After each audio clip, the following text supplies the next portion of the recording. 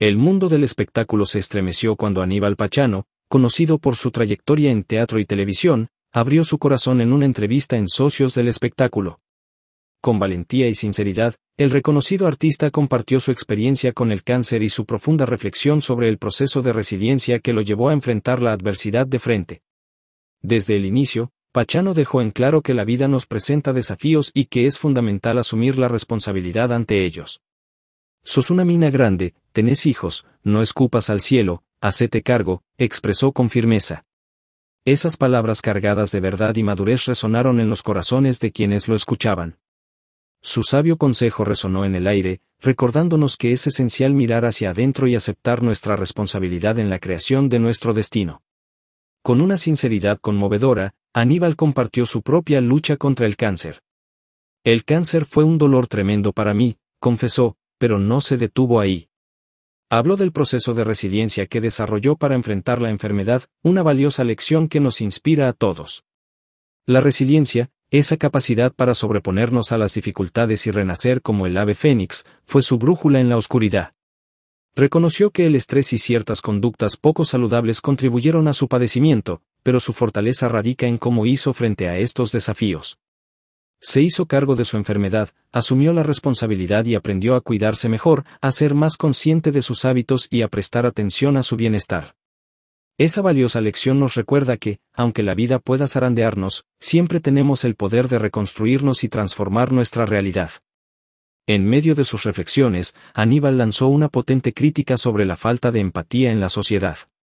Señaló que la ignorancia emocional impide a las personas entender al otro y comprender las dificultades que enfrentan. Sus palabras resonaron como una llamada de atención para cultivar la empatía en nuestras vidas, recordándonos que un poco de comprensión y compasión pueden marcar una gran diferencia en el mundo.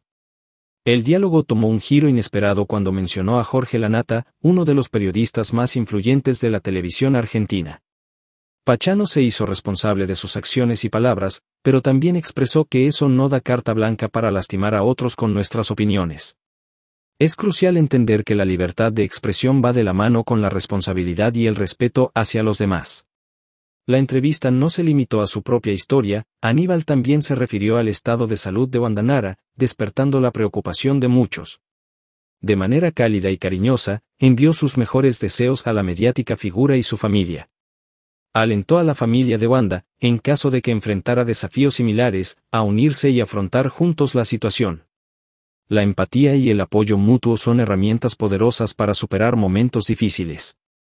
La voz de Aníbal Pachano resonó en los corazones de quienes lo escucharon, inspirándolos a reflexionar sobre sus propias vidas y relaciones.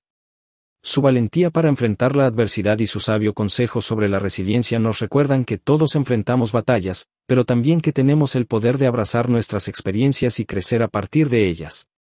Esta entrevista ha abierto un importante diálogo sobre la empatía en los medios y en la sociedad en general. Nos insta a ser más comprensivos y considerados con los demás, a entender que todos atravesamos luchas invisibles, y que un poco de compasión puede hacer una gran diferencia en la vida de alguien. La historia de Aníbal Pachano es una historia de valentía, de enfrentar el dolor y la enfermedad con entereza y determinación. Su mensaje trasciende las pantallas de televisión y las redes sociales, resonando en el corazón de quienes han sido tocados por sus palabras. Nos recuerda que, incluso en los momentos más oscuros, siempre hay luz al final del túnel, y que podemos encontrar la fuerza para superar cualquier obstáculo. Esperamos que Bandanara reciba las mejores energías y apoyo en su camino, y que esta entrevista inspire a muchos a abrazar su resiliencia y enfrentar la vida con valor y compasión.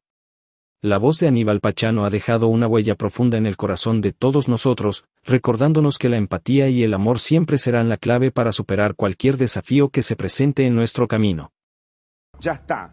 Sos una mina grande, tenés hijos, no, no, escupas al cielo, no mires, no mires para otro lado, hacete cargo de lo que, decís. Si uno, se, hace, uno se hace cargo de tu enfermedad, por ejemplo, de mi enfermedad, si yo me hago cargo, ¿por qué llegué al cáncer? voy a entender el proceso de resiliencia. Claro.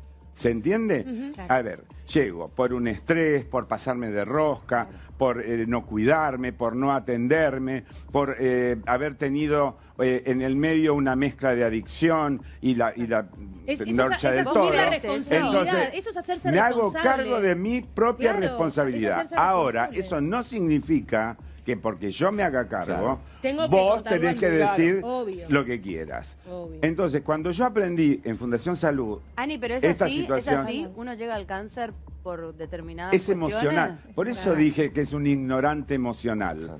Ignorancia emocional es no entender y no tener empatía Y pero con Ani, el otro. ¿por qué él la tendría si él no lo vivió? O sea, ah, digo, Perdón, yo te estoy escuchando. todo, Él- no, pero yo te si hay estoy- algo que vivió, pero yo te si estoy hay algo que la nata vivió, es de todo. Mira, Ani, vivió. yo te estoy escuchando, aparte te conozco y te quiero, pero yo no tengo por qué saber que uno llega a un cáncer por determinadas Pero uno No, no, necesita es todo tener empatía. esa es la historia personal. Esa es la Esa historia es- Eso es lo personal que él mía. claro. llegó a su conclusión por, yo, por yo eso. llegué a una conclusión. Pero además la empatía no significa que tengas que vivir la misma situación. Vos claro, cuando ves una estaba persona que sufre tenés empatía. Estaba con ira, estaba con bronca, eh, tenía una cosa acumulada. Mira, una chamana me dijo una vez en un asado de la en la casa de Ana, me abrazó y me dijo, ¿por qué no me abrazás?